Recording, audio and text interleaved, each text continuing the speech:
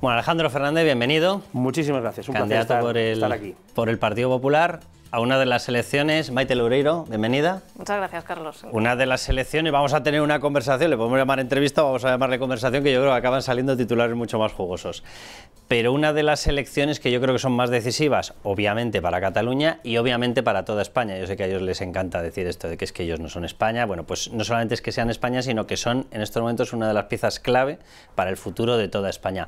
Alejandro, te hago la primera pregunta, que es obvia, luego habrá otras así más, más complicadas, pero eh, ¿qué papel puede y debe jugar el Partido Popular en estas elecciones? Es decir, ¿qué es lo que tiene que conseguir por el bien de Cataluña, por supuesto, pero por el bien de España también?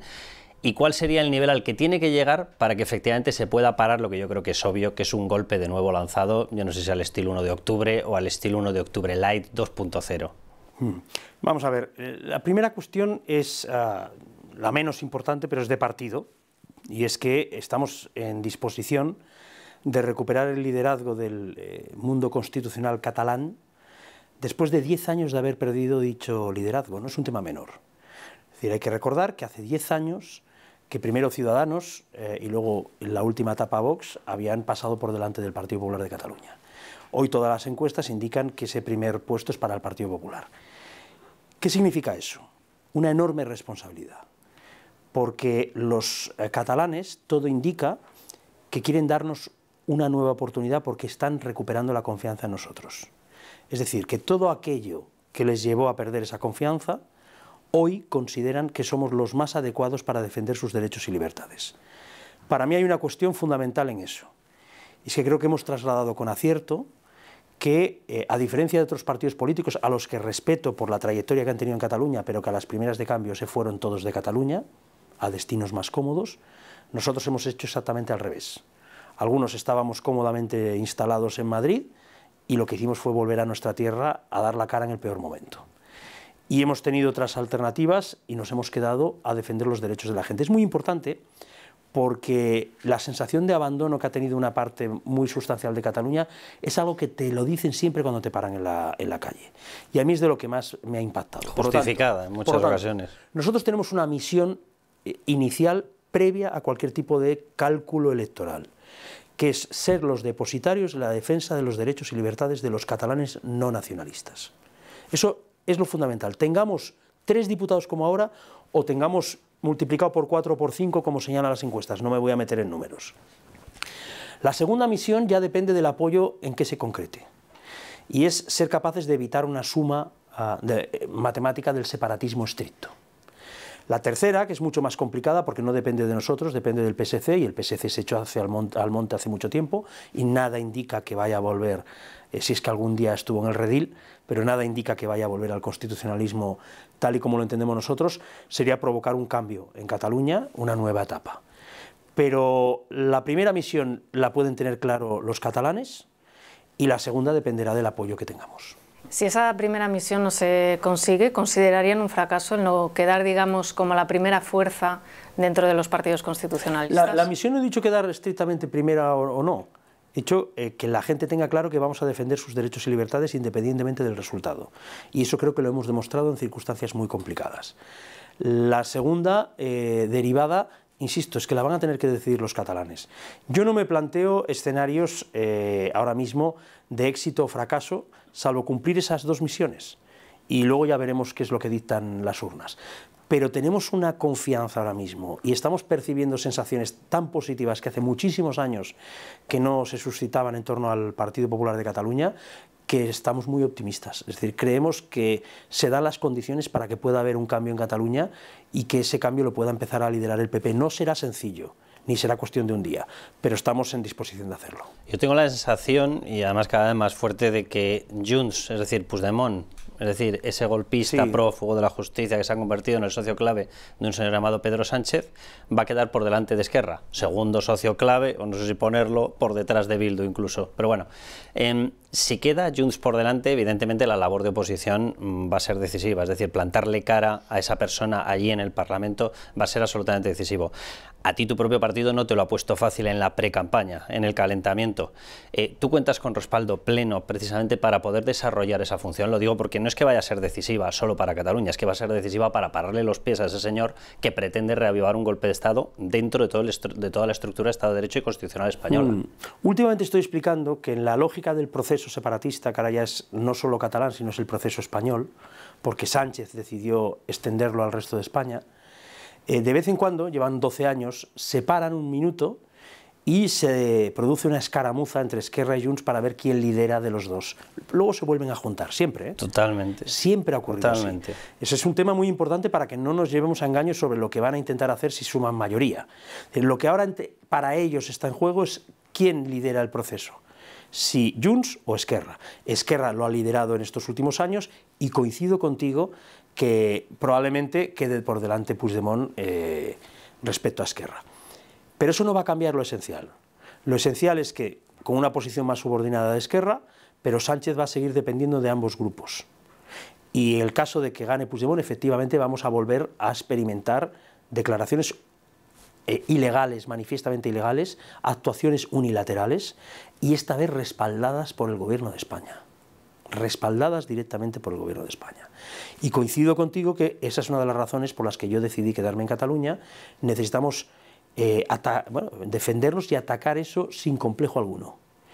Y yo me siento apoyado eh, por el partido.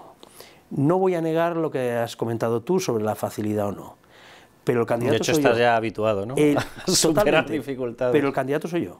Y esa es la realidad. Lo otro son especulaciones que puedo entender porque la, vida es como es. Pero el candidato soy yo. Y si algo creo haber podido acreditar durante todo este tiempo es que cuando tengo una opinión eh, que se ajusta a mis principios y valores, no la muevo nunca. No la muevo nunca. Y evidentemente, eh, si Carles Puigdemont lidera esa parte del proceso, nos va a tener enfrente y sin ningún tipo de complejo. ¿Qué complejo voy a tener yo al lado de Carlos Puigdemont? Eh, yo no seré un gigante, pero ah, en fin, no voy a calificarle a él.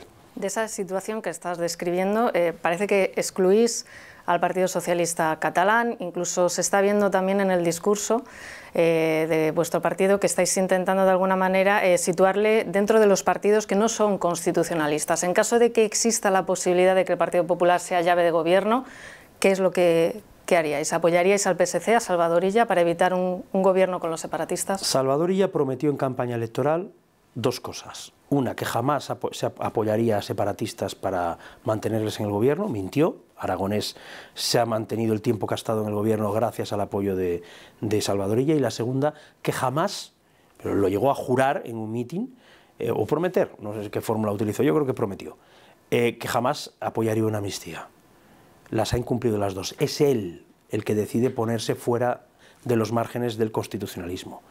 Por lo tanto, es él el que puede decidir volver al constitucionalismo. Pero es que eh, no puede ser de palabra porque no nos fiamos de él. Para que eso fuera creíble, tendría directamente que romper con Puigdemont, con Aragonés, y no solo con Puigdemont y Aragonés, con todos los pactos que tiene con el separatismo en ayuntamientos y en diputaciones catalanas. Y si eso no se produce, conmigo que no cuente. Yo no he venido a hacer el primo. Eso de apoyarle a él en una investidura para que luego él se acabe eh, apoyando, valga la redundancia, en Esquerra o Junts, eso no va a ocurrir. Vamos, lo que viene siendo hacerse un Pachi López de lo que fue en el gobierno vasco, pero llevarlo a Cataluña. Efectivamente, eso no me va a ocurrir. Mm, comprometo mi palabra. Si ocurre, ocurrirá con otros, no conmigo. Yo eso sí que lo tengo muy claro, porque, en fin, eh, hacer de, de mamporrero con perdón de la expresión, de Puigdemont, no lo voy a hacer. Em, se ha llegado a plantear una locura que es incluso hacer un debate entre candidatos en Waterloo. Hmm. Eh, los de Esquerra no me extraña porque al final comparten esa bandera del independentismo y del separatismo y estoy totalmente de acuerdo. Al final es quien va adelante en este tándem dentro de la misma hmm. bicicleta con dos sillines. Eh, el Partido Socialista durante la campaña va a hacer algo de oposición a ese separatismo, teniendo en cuenta que ese separatismo de los dos, tanto de Junts como de Esquerra, es el que está soportando en estos momentos a Pedro Sánchez? Y te hilo ya o le hilo ya otra pregunta, porque claro, hemos visto como el Tribunal Constitucional ha cogido corriendo y dice, no, suspendo esa declaración que había sido trasladada como una mm. iniciativa popular a través de un partido, por cierto, creado eh, por un tal Laporta, que es que aquí todos se acaban uniendo, eh, y que pedía ya una declaración unilateral de independencia. Pero me llama mucho la atención que la Fiscalía de quién depende, de quién depende, no ha ido a por la gente que la ha tramitado. Si de veras lo haces en serio, no me vale con que uno de tus alfiles, Candio Conde Pumpido, diga ahora que lo suspende por un periodo de cinco o seis meses. Menuda eh, cosa extraordinaria. No, no, tendrías que haber ido a través de la Fiscalía contra los responsables de haber tramitado un texto ilegal, igual que ocurrió con Forcadell.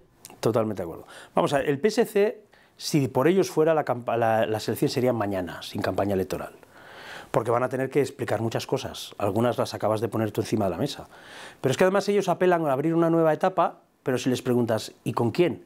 Pues con los mismos con los que he protagonizado la etapa del proceso. Pues ya me explicarás tú cómo se abre una nueva etapa con los mismos procesistas con los que has estado compartiendo todo este tiempo. ¿no? Entonces, su posición es muy complicada, porque Salvadorilla no es el candidato de Sánchez en realidad. Como pasó en Galicia, donde la candidata de Sánchez era la del bloque, realmente, en Cataluña el candidato eh, favorito de Sánchez sería Pere Aragonés, y en segundo lugar Puigdemont, el que quede primero porque de los dos va a depender luego para seguir como presidente del gobierno. Por lo tanto, votar a Salvadorilla ahora mismo es ah, votar a alguien que no va a poder ejercer eh, ningún tipo de influencia independientemente de cuál sea su resultado, porque va a vivir completamente sometido a Esquerra y Junts. Eh, recordemos que las últimas elecciones ya las ganaron. ¿Y de qué sirvió? Pues para que e, ese apoyo, que tuvo un apoyo muy notable, de mucha gente de buena fe, que pensaron y creyeron ahí en aquel momento pensando que sí podía abrir una nueva etapa. Y lo, que hace al día siguiente es entregarse a Esquerra Republicana a pesar de haber ganado las elecciones. ¿El resultado va a influir de alguna manera en lo que se puede interpretar como un aval o no a la amnistía? ¿Es en Cataluña tan determinante este asunto en el resultado que se pueda ver en, las urnas? Porque se, habla mucho de que el hartazgo ciudadano llega a tal extremo con este tema que no va a marcar, digamos, de alguna manera eh, el resultado de las elecciones en Cataluña. Lo que dice el eh, CIS catalán, el Centro de Estudios de Opinión, eh, y lo han ratificado todas las encuestas privadas que han ido saliendo, es que el rechazo del electorado socialista a la amnistía es de la mitad, que es algo muy gordo, porque es el proyecto estrella de Sánchez para esta legislatura. Es decir, la mitad del electorado socialista no cree que la amnistía eh, sea reconciliación ni convivencia, sino que creen que es un chantaje inaceptable a la democracia, perpetrado por unos tipos que dicen que lo van a volver a hacer y que no solo no piden perdón, sino que te chulean. Ese es el resumen un poco tosco, pero es el resumen de la percepción que tiene la mitad del electorado socialista. ¿Qué traslación puede tener eso electoralmente? Yo estoy convencido de que la va a tener. Creo que eso al final en la campaña electoral, y es una misión que tenemos desde el Partido Popular, explicarle eso a la gente. Es decir, esa decisión no es solo la cuestión de la amnistía. La amnistía lo que hace es resucitar a unos separatistas que estaban eh, políticamente hundidos, que en las elecciones generales quedaron por detrás de PP, tanto Junts como Esquerra. Les ha dado oxígeno y ha recuperado el proceso que lo que ha traído es la decadencia de Cataluña en 10 años, que le ha apartado el liderazgo. Por tanto, el PSC es copartícipe del proceso, porque lo ha resucitado. Y por tanto es incapaz de abrir una nueva etapa. Eso, claro, yo lo tengo muy claro, pero es verdad que es nuestra obligación trasladarlo a la ciudadanía y que la gente reflexione sobre ello. Para eso están las campañas electorales. Y yo me voy a, dedicar a explicar eso porque conozco muchos socialistas que están muy, muy, muy enfadados con el Partido Socialista eh, y con Pedro Sánchez y Salvadorilla eh, particularmente. ¿Se puede llegar a ver un PSC, o sea, un PSOE, o sea, un Pedro Sánchez, Salvadorilla, Salvadorilla, Pedro Sánchez, me da lo mismo, apoyando una presidencia de Puigdemont? Si a Sánchez le conviene, eh, para mantener la legislatura, no lo descartes. Si Puigdemont se lo exige a cambio del sillón de la Moncloa, eso eh, es, le puede dar el respaldo. Vamos, no tengo ninguna duda al respecto. Y además lo venderían también como un gesto de reconciliación y convivencia. entonces sería una convivencia muy, muy divertida, ¿no? Porque entonces saldría Sánchez a decir que es convivencia y Puigdemont le llamaría fascista. Esa es básicamente la retórica de la convivencia que algunos tienen en Cataluña y un gobierno eh, de concentración Junts Esquerra con un único punto que sea la independencia de Cataluña? Bueno, eso es lo que ha funcionado durante muchísimo tiempo del proceso. De hecho, ha sido una fórmula de colaboración que han tenido en la primera parte de la presidencia aragonés y en las presidencias de Torra y de, Puigdemont. Es decir, la, la, presidencia la ostenta el que queda por delante y el otro hace de socio minoritario. Por tanto, tampoco se puede descartar eso porque a Pedro Sánchez tampoco le iría mal poder tener así a, los dos socios apoyándole en Madrid, aunque fuera a cambio pues, de vaciar el Estado en Cataluña, de humillar a eh, los defensores de la Constitución en Cataluña y todo lo que hemos vivido en estos años. No sé si se cree el, órdago que ha lanzado eh, Carles Puigdemont de, de abandonar la política en caso de que no sea elegido presidente de Cataluña. Es tan bonito eh, que, intento no, engañarme. ¿Dónde hay que firmar, verdad? Eh, claro, es que yo, en, un acto que tenía en el Club Siglo XXI y me preguntaban sobre la cuestión, eh, en, Cataluña, por ejemplo, cuatro millones de catalanes, somos, no llegamos a ocho, tienen un riesgo severo de restricciones de agua este verano, como si fuéramos un país subdesarrollado. ¿Alguien ha oído a Puigdemont hablar de eso? No, él habla de su vida. Eh, me he cambiado de casa. He pasado de Waterloo a no sé dónde. Y ahora dice, no, me retiro si pasa esto. Es decir, es un reality show, la campaña de Junts, de, la vida y milagros de, de Puigdemont. Entonces, si pasa esto, me retiro. Uf, pues por favor, no sufras más, ¿no? si total se te está llevando la salud, déjalo. Que, pero pero veremos que en algún momento pueda llegar a, España realmente. ¿Existe esa posibilidad real? Yo tengo la sensación de que va a flirtear con esa eh, posibilidad, pero no lo, no lo veo eh, volviendo, porque no le da tiempo en esta campaña a atar lo suyo.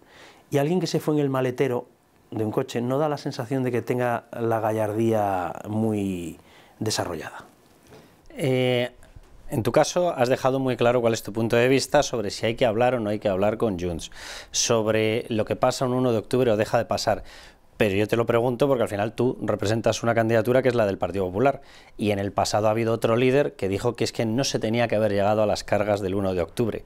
Eh, a las cargas del 1 de octubre cuando tienes un partido que te declara un golpe contra toda la Constitución, hay que evitarlas o lo que hay que evitar es que esos señores lo vuelvan a dar o lo hayan dado una primera vez. Y la segunda, ¿hay algo que hablar con ese Junts actual? Eh, las dos eh, preguntas tienen una respuesta muy clara. Yo creo que ante alguien que desafía eh, la ley y la incumple y desafía el Estado de Derecho, eh, no se puede tolerar ni una. Y si algo creo que yo muchas veces eh, explico y lo digo con toda franqueza, y el otro día lo intenté desarrollar con Federico, que no le hizo mucha gracia la argumentación, pero trasladé, porque yo, para bien o para mal, tengo mis ideas y las defiendo. y explicaba que el gobierno de Rajoy cometió errores, sobre todo algunas decisiones que deberían haber llegado antes y se hubiera evitado algunos de los episodios que se vivieron. Pero es una categoría moral muy distinta a la de Sánchez. Sánchez no es que haya frenado el golpe tarde, que es a lo mejor lo que se nos puede atribuir a nosotros, es que es cómplice del golpe. Y es una categoría moral completamente distinta. Entonces, ¿qué es lo que para mí hubiera evitado eh, las cargas y lo que pasó el 1 de octubre? Pues que muchas decisiones que se tenían que haber tomado, por ejemplo, los días 6 y 7 de septiembre, cuando la ley de transitoriedad, pues hubieran evitado todo el espectáculo posterior. Y la segunda pregunta que me planteabas, ahora no me acuerdo cuál era. Pero eh, ah, sobre esto, déjame que te añada una cosa, hombre, a lo mejor también una de las cuestiones que había que haber evitado es ver a una persona con rango de vicepresidente entrar en una extraña connivencia en la que te acaban hasta haciendo una especie de mensaje por la espalda, me refiero a Oriol eh, Junqueras. yo, me manifesté sobre eso, como bien sabes. Y a ya Sánchez eh, Yo me manifesté sobre, sobre ello, por eso digo que esa gestión eh, pues podría haber sido más rápida. Pero, hay que decirlo, finalmente se aplicó lo que se tenía que aplicar, los responsables tuvieron que rendir cuentas ante la justicia y rindieron. Se puede estar de acuerdo o no con el alcance de aquellas sentencias, pero eso ocurrió, es decir, el Estado de Derecho prevaleció. La otra pregunta es si había algo que hay o hay algo que hablar con Junts. Yo hoy también lo he intentado explicar en el acto que tenía antes. No nos enfrentamos eh, a señores amables como Miquel Roca, caballeros como Joaquín Molins y este tipo de cosas. La Convergencia y Unión Antigua, con muchos defectos que tenía, porque es parte del problema que vivimos en España, pero como mínimo en el día a día se eh, movían en escenarios de respeto al Estado de Derecho y a las normas parlamentarias, cívicas, y eso es así, salvo algunos que les dio por robar, eh, que de todos conocidos, pero era otra historia. Eh, Junts es un movimiento nacional populista de corte supremacista identitario que está eh, influenciado por los movimientos nacionalistas de Europa. Es decir, el nacionalismo catalán ha tenido una transformación, como eh, ha tenido en Francia el Frente Nacional, como ha tenido en Flandes la ultraderecha de Flandes, como tuvieron en su momento Humberto Bossi y Salvini, y este ya veis que tengo la voz de tanta entrevista, está empezando a... Y, pues anda que no te queda campaña. Ya lo sé, ya voy a tener que... Y, y en este caso, eh, Junts es eso. Entonces, cuando tú tienes delante a alguien que no solamente es que sea un prófugo golpista, sino que encima sostiene que España es un Estado fascista y que nosotros somos eh, colonos en nuestra propia tierra, ñordos, butiflés, traidores, etc., yo para hablar con alguien que me considere una persona dialogante, lo mínimo que exijo es respeto, porque yo al otro interlocutor se lo eh, voy a siempre guardar. Por lo tanto, yo con alguien que sostiene que España es un Estado fascista, que yo soy un colono fascista y que además es un prófugo de la justicia, no tengo nada que hablar. Lo único que tengo que hablar con él es decirle, oye, ¿cuándo te pones a disposición de la justicia, chaval? Es lo único que tengo que hablar con él. No sé, ahora mismo uno de los asuntos que está sobre la mesa, es que se plantea, digamos, eh, como dentro de la campaña que ha puesto Esquerra Republicana, que son dos cuestiones, el referéndum y el cupo vasco. No sé hasta qué punto cree que es una exigencia real que se va a poder materializar en la negociación con Pedro Sánchez después de las elecciones o que forma parte de la campaña de Esquerra Republicana. Yo creo que hay un proyecto en el que el Partido Socialista está involucrado que satisface a medio plazo a los separatistas, que no es directamente un referéndum de autodeterminación, sino es convertir España en un Estado plurinacional, confederal y asimétrico. Es decir, en el que haya un reconocimiento de que España no es una nación, sino que está compuesta por un montón de naciones, y Z decía un día que ocho, vete a saber dónde sacó el dato, eh, en qué momento lisérgico le vino la inspiración para decir semejante estupidez, pero, claro, en el momento en el que tú eh, aceptas la idea de que España no es una nación única e indivisible, como dice el artículo 2 de nuestra Constitución, abres la puerta a la autodeterminación como un estadio posterior. Y esa es la operación que van a intentar. Y estoy convencido que lo van a intentar. Ese es el proyecto Artur Mas. E ese es el proyecto. El Estado Libre Asociado. sí, bueno, y ese es el proyecto que en su momento tuvo Ibarreche también para, para. Pero esa es la antesala a legalizar un referéndum y por lo tanto ya pues, dejar la independencia ya es solo cuestión de tiempo, puede tardar más o puede tardar menos, pero es cuestión de, tiempo. Y luego lo de la cuestión de la financiación, eh, hay, una cosa que es muy importante recordar, porque esto no se sabe mucho por aquí, pero el nacionalismo nunca en la vida en Cataluña ha querido eh, un sistema como el cupo vasco, no ha querido nunca recaudar impuestos. El sistema lo llaman, y lo inventó Pujol, lo llaman el País Alcoba, que es ir a Madrid, venga, a, sacar, porque esto de cobrar impuestos es antipático. Y además tienes que asumir una serie de responsabilidades. Y Cataluña tiene unas dimensiones muy distintas a las del País Vasco o Navarra. Es decir, cuando tú tienes que calcular el cupo y los servicios que se prestan, si tú tienes una sociedad eh, con un porcentaje de inmigración muy elevado, que tienes una sociedad con una población muy elevada y con una estructura eh, sociolaboral eh, muy compleja, muy distinta a la del País Vasco, eh, el poder ser capaz de garantizar determinados servicios a través de la recaudación propia de los impuestos, porque claro, esto no, no, yo quiero eh, recaudar todos los impuestos. Ah, pero entonces el desempleo y las pensiones te las pago yo. Entonces nunca han querido. Lo, dicen que quieren, pero nunca han querido. Es todo mentira. Y esto sí que es una cuestión que hay que que no se sabe mucho, pero que a mí me gusta explicar. Por extraño que parezca, que a mí me recuerda al, caso del País Vasco, que PNV ha ocupado, un supuesto hueco de seguridad jurídica, que dices, yo pensaba que la seguridad jurídica iba ligada a la Constitución, pero bueno, son cosas de estas que pasan en el nacionalismo. Allí parece que ha ocupado un supuesto hueco de eso Salvadorilla, el PSC. Eh, Salvador Illa es la única persona en el sumario eh, del caso PSOE de Barracoldo que aparece con su ficha, con su fotografía y con su nombre. El resto se menciona el gobierno de Canarias, y todos sabíamos, evidentemente, que estaba Ángel Víctor Torres, además nos lo ha recordado Pedro Sánchez nombrándolo ministro. Eh, todos sabíamos que en el de Baleares estaba Armengol, además lo ha recordado Pedro Sánchez nombrándola presidente del Congreso.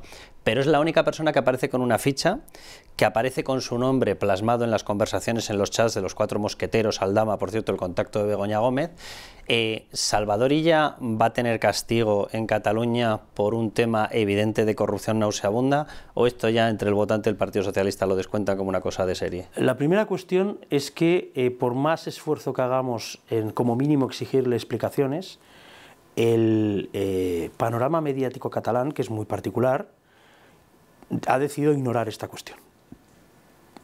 Y los medios de comunicación públicos en Cataluña y los mayoritarios sencillamente no hablan.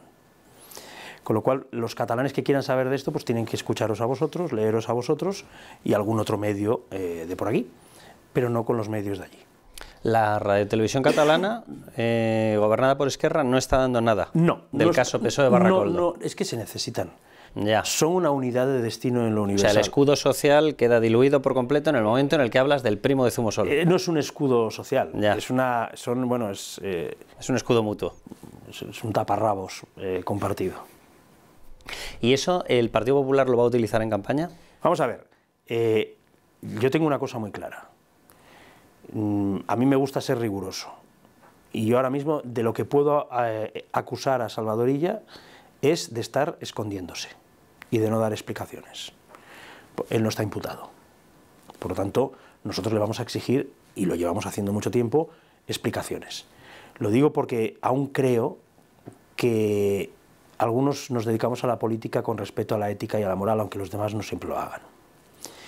La cacería que está eh, desarrollando la izquierda contra Ayuso, eh, yo no, no me veo capaz de hacerlo contra otro adversario político. Si lo que Salvador ya aparece en las conversaciones. No, no, no, lo tengo muy claro. Le pedían permiso Sí, sí, sí, sí, sí. y aparece Eh, sí, sí, perfectamente relatado. Lo, lo- tengo muy claro. y pero- ya ha dado permiso. Adelante con lo- los lo tengo muy contratos. claro, lo tengo muy claro, pero eh, él no ha sido aún procesado. Yo, eh, tal y como están las cosas hoy, decir, yo no puedo pedir o, o quejarme de la cacería con razón injusta, terrible, inmoral que vivió Rita Barberá y que acabó con su vida, y decir que yo, eh, sin que haya alguien imputado, voy a directamente llamarle delincuente. Yo le puedo exigir que se explique.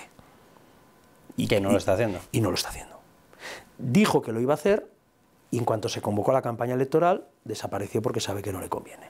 Por tanto, yo soy de la opinión y he compartido pues, que mi partido lo convoque al Senado para que dé explicaciones, porque efectivamente las informaciones que aparecen son para él muy preocupantes, muy preocupantes. Y eso es lo que yo creo ahora mismo que tenemos que hacer. No sé, eh, además de todos estos asuntos de la corrupción, de la amnistía, de la independencia y demás, ¿qué otros ejes eh, van a marcar un poco la campaña? Porque es verdad que parece que todos estos temas están arrollando un poco las preocupaciones ¿no? del día a día de los ciudadanos, eh, como por ejemplo en el caso de Cataluña, el problema que hay de la inmigración, eh, el agua, que, que es- eh, se ha hablado también, y otros, la crisis económica, el empleo y demás. No sé qué ahora mismo interesa especialmente ahora mismo a los catalanes a la hora de acudir a las urnas, digamos. Sobre la idea de que el proceso en 10 años, 12, no ha traído la independencia, ha traído la decadencia, es algo fácilmente de- demostrable y sobre eso vamos a construir nuestra alternativa. Es decir, 12 años después del inicio del proceso, Cataluña aglutina el 42% de las ocupaciones ilegales de toda España. Vamos a combatir la ocupación ilegal con uñas y dientes. 12 años después tenemos los peores datos de seguridad ciudadana de toda Europa, sobre todo en el área metropolitana, Barcelona y su área metropolitana. Vamos a combatir eso también prestigiando labor- la labor de las fuerzas y cuerpos de seguridad del Estado, dándoles instrumentos y sobre todo eh, permitiéndoles hacer su trabajo, que no se les permite hacer bajo esos discursos y mantas progres que prácticamente idealizan al criminal y criminalizan al policía. Bueno, y hasta disfrutar de sus comisarías, ¿no? que también se las ponen en duda. Eh, exactamente, exactamente. Pues todo eso lo vamos a combatir. 12 años después del inicio del proceso, Cataluña tiene los peores datos de calidad educativa de toda la Europa occidental.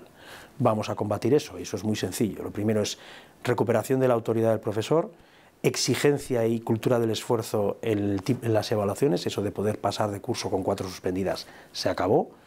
Y luego una cosa muy importante es que la alta inspección educativa del Estado intervenga cuando haya manipulación ideológica e incumplimiento de las sentencias lingüísticas en el sistema educativo catalán.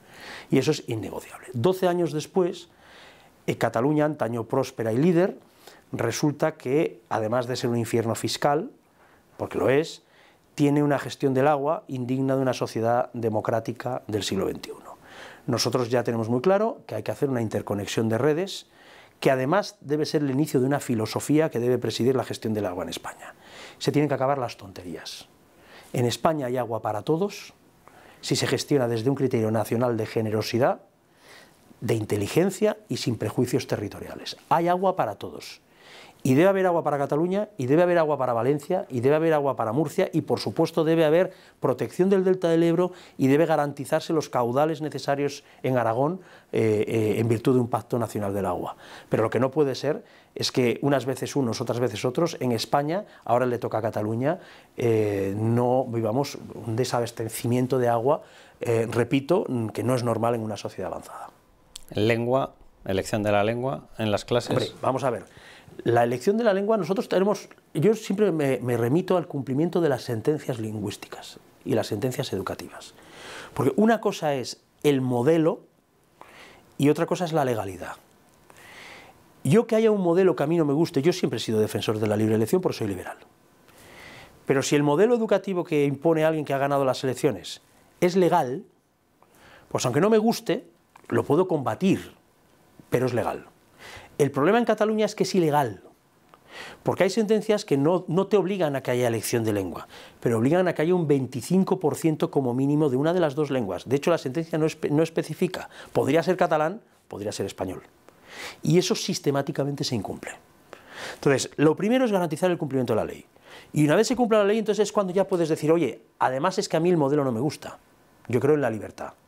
Y creo en la libertad de los padres para elegir centro y creo en la libertad también del alumno para elegir lengua. Porque el respeto a la lengua materna, sobre todo en las etapas iniciales de la educación, es decisivo.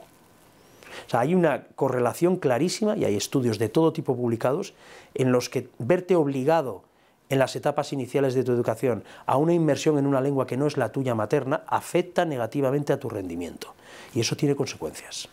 Yo tuve la suerte, y acabo con, este razonamiento, de haberme educado en una, ley de política lingüística del año 83 que lo que acababa definiendo era un sistema prácticamente bilingüe. Yo cuando hacía, no sé, quinto de GB, era un niño, recuerdo perfectamente que tenía la mitad de las clases en catalán y la mitad de las clases en castellano. Era con naturalidad. Mi lengua materna es el castellano, pero eh, pude aprender catalán y no me sentí presionado ni... Eso ya no ocurre. Y ahora hay una imposición lingüística. Y eso es así. Y eso no se puede negar. Y se está tratando al español como si fuera una lengua extranjera, que eso tampoco puede ser normal. Y eso lo vamos a combatir también. Bueno, que nos hemos ido del tiempo, pero te hago una prácticamente para respuesta como monosílabo y, y cerramos ya la entrevista. Eh, al PP le ha gustado mucho mover en las plazas donde hay que combatir el nacionalismo en primera línea de, combate y de trinchera. Le gusta mucho este no me gusta, cambio el candidato, ahora lo cambio, ahora firmo un Majestic, ahora tú para abajo, ahora tú para arriba. ¿Ha llegado el momento de que en Cataluña dejen ya a un líder? Yo creo que eso en realidad es la consecuencia de un error eh, de diagnóstico previo.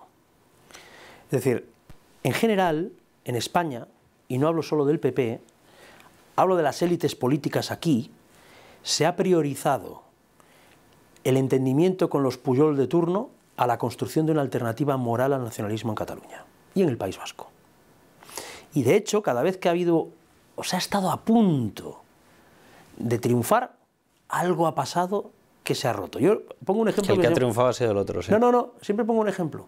Cuando la unidad entre Jaime Mayor Oreja y Redondo Terreros estaba a punto de provocar un cambio real, no el de Pachi López, uno real en el País Vasco, salió Felipe González al auxilio del PNV recordándole a Redondo Terreros que ni se le ocurriera pactar eh, con el Partido Popular. Y rompió una mayoría y una corriente de ilusión y nos quedamos a un escaño de lograr esa mayoría, una mayoría que se estaba tocando.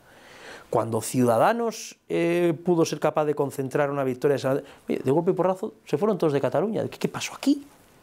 Siempre ocurre algo y da la sensación de que no se... El hecho de que luego haya tantos cambios, como no se construye una alternativa moral real, luego al final los resultados no llegan, empieza el nerviosismo. Oye, el asunto es muy sencillo. Si tú quieres que la cosa triunfe, tienes que hacer una alternativa al que manda aquí. Aquí me refiero en Cataluña. Porque si no, tu papel que es el, el, de hacer de facilitador del nacionalismo, de negociante, de no sé qué, lo siento, pero a mí para eso eh, que no cuenten conmigo. Pues muchísimas gracias, Maite. Muchísimas, gracias, Alejandro. Ha sido un auténtico placer. Lo mismo, lo mismo te digo. Muy bien.